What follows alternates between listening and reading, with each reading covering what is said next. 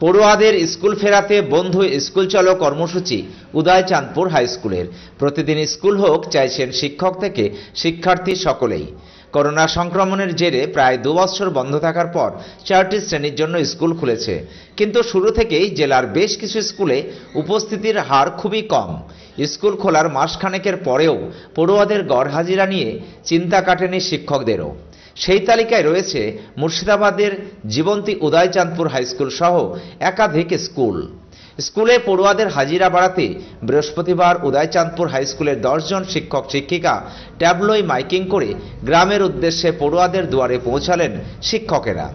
গ্রামে ঘুরতে ও ছাত্রছাত্রীদের বাড়ি চিনিয়ে দিতে সাহায্য করল কিছু বর্তমান ও কিছু প্রাক্তন ছাত্রছাত্রী। শিক্ষকদের আগ্রহ দেখে অভিভাবকগণ খুবই আপ্লুত। শিক্ষকরাও তাদের ব্যবহার ও আপ্যায়নে খুব খুশি হয়েছে বলে জানিয়েছেন। এই প্রচারের পর আগামী দিন থেকে স্কুলে শিক্ষার্থীর সংখ্যা বাড়বে বলে মনে করছেন অনেকেই। আজ আমরা আত্ম এলাকায় উপস্থিত হয়েছি। উদয়চাঁদ উচ্চ বিদ্যালয়ের পক্ষ থেকে সকল শিক্ষক, শিক্ষিকা শিক্ষাকর্মী বৃন্দ এবং আমাদের সাথে প্রশাসন সকলের সহযোগিতার আশ্বাস এবং আমাদের হাত বাড়িয়ে দিয়েছে। আমরা অভিভাবকদের কাছে বিনম্র আবেদন জানাচ্ছি। নবম থেকে দ্বাদশ শ্রেণি পর্যন্ত সমস্ত ছাত্রছাত্রীদের আপনাদের বিদ্যালয়ে পাঠান। আমাদের শিক্ষার উপযুক্ত পরিবেশ সম্পূর্ণরূপে সেখানে আছে। কোনো রকমের পরিকাঠামোর অভাব নেই। সেখানে খেলাধুলা অংশগ্রহণ করুক স্কুলের নিয়মিত পরীক্ষায় অংশগ্রহণ করুক এবং তারা সমৃদ্ধ হোক। গত ষোলোই নভেম্বর থেকে নবম থেকে দ্বাদশ শ্রেণি পর্যন্ত যে ক্লাস শুরু হয়েছে সেই খুব ভালো লেগেছে শুনে। ছেলে মেয়েদেরকে স্কুল পাঠাবো প্রতিদিনই তার জন্য না। কারা এসেছে? মাস্টার মশাই নাকি? স্যার এসছে। ওদের চাঁদপুরের স্যার এসছে। দিয়ে আপনারা কি বলল? ছেলে মেয়েদের জন্যই বলল স্কুল প্রাইভেট যাবে ভালোভাবে পড়াশোনা করবে পরীক্ষার জন্য? হ্যাঁ পাঠাচ্ছি। মাঝে মধ্যে কামাই হয়েছে যেমন আজকে কামাই এটা স্যার দেওয়ারের মেয়ে এটা। এটা আমার মেয়ে। না দেওয়ার স্যাররা এসেছে আপনাদের বাড়িতে মানে আপনাদের সাক্ষাৎ করছে কেমন লাগছে? ভালো লাগছে। হ্যাঁ। এভাবে কি চান আগে ভবিষ্যতে যোগাযোগ হ্যাঁ চাই। আপনারা উৎসাহিত হয়ে মানে খুশি হয়ে পাঠাবেন হ্যাঁ খুশি হয়ে পাঠাবো। আচ্ছা। স্যারদেরকে ধন্যবাদ জানাবেন না? হ্যাঁ স্যার ধন্যবাদ। স্যার নমস্কার। আপনার নাম? আমার নাম গায়ত্রী মণ্ডল। আপনার মেয়ে কোন ক্লাসে পড়ে? টেনে পড়ে। কি নাম? সুনিতা মণ্ডল। আসলে কোভিড বিধির কারণে আমরা জানি বিদ্যালয়গুলোতে দীর্ঘদিন পঠন পাঠন বন্ধ ছিল।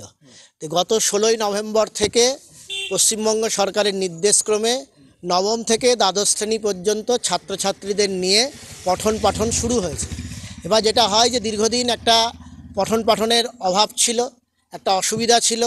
তারা এই ধরনের যে সমস্ত ফর্মাল এডুকেশন যে বিদ্যালয়গুলো থেকে দেওয়া হয়, তাতে তারা একটু বঞ্চিতই হচ্ছিল।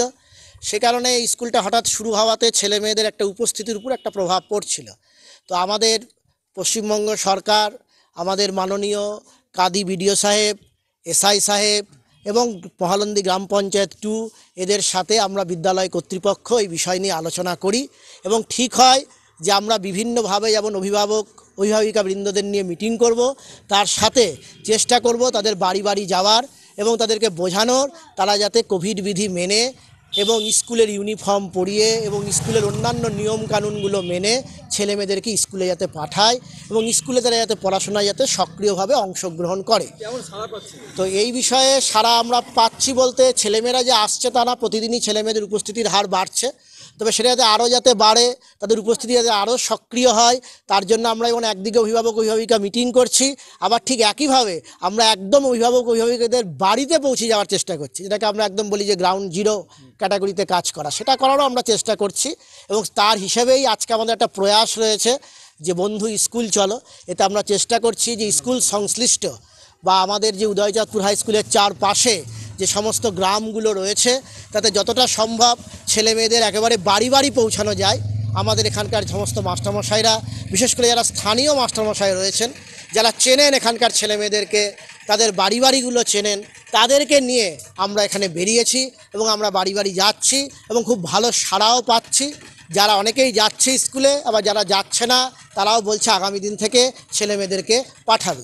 এইভাবে একটা সর্বাঙ্গীন বিকাশ করে যে আমাদের একটা ল্যাকুনা থেকে গেছিল গত দু বছরে সেটাকে একটা দূর করবার প্রচেষ্টা নেওয়া হচ্ছে আপনার নাম আমি ডক্টর কুণাল সরকার সহশিক্ষক Udaychandpur high school.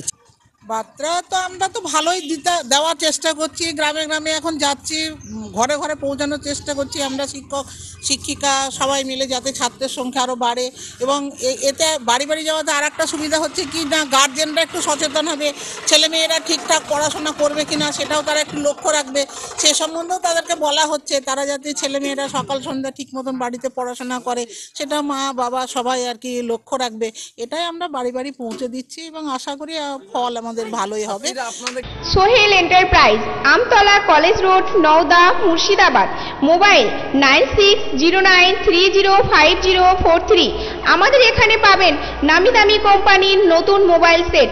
Headphone smart watch earpods pendrive, memory card, Bluetooth, speaker, mobile charger, mobile stand এবং power bank authorised dealer Jio.